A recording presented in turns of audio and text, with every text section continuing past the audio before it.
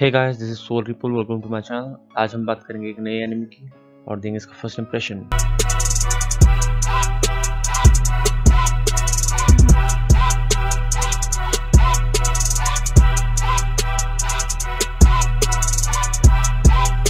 सो so, आज जिस anime की बात करने वाले हैं वो है Burning Kabaddi Burning Kabaddi Japanese name है शाकुन तेत्सु कबड्डी ये एक स्पोर्ट्स एनिमे है। इसका मांगा 2015 में आया था, जुलाई में, अभी तक चल रहा है ये।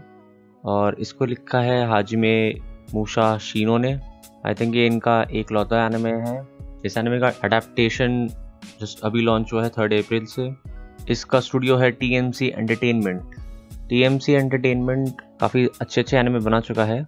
जिसमें से सबसे फ़ेमस में से है D Gray Man Hollow Doctor Stone Rent a Girlfriend Jet Man मतलब इनको काफ़ी एक्सपीरियंस है एनिमेशन में और एनिमेशन अच्छा भी था मेरे हिसाब से। सो अब बात कर लेते हैं स्टोरी की और कैरेक्टर्स की। कैरेक्टर्स इसमें मेन कैरेक्टर का नाम है तत्सुया ओगोशी ये एक फुटबॉल प्लेयर है जो अब काफ़ी सारे रीजंस की वजह से फुटबॉल नहीं खेलना चाहते और ना ही कोई और स्पोर्ट्स खेलना चाहते। लेकिन एक दिन एक फ़र्स्ट ईयर स्टूडेंट उनके घर पे आता है और उनको बोलता है कि आपको कबड्डी खेलनी चाहिए। फिर वो काफ़ी इंसिस्ट करता है तो ये बंदा चले जाता है और वहाँ वो इंट्रोड्यूस होता है कबड्डी से।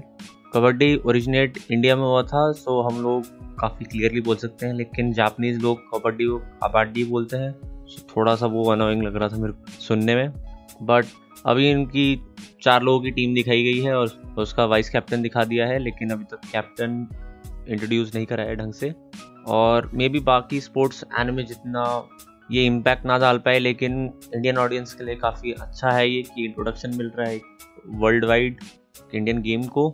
और, क्या पता कि ये भी हाई क्यू जितना फ़ेमस हो जाए, क्योंकि इसमें कैरेक्टर्स थोड़े से डिफरेंट हैं बाकी एनिमे से। लाइक रियलिटी बेस थोड़े ज़्यादा है। So that was my first impression I hope you like it and for more videos please check out my channel and please like share subscribe for more videos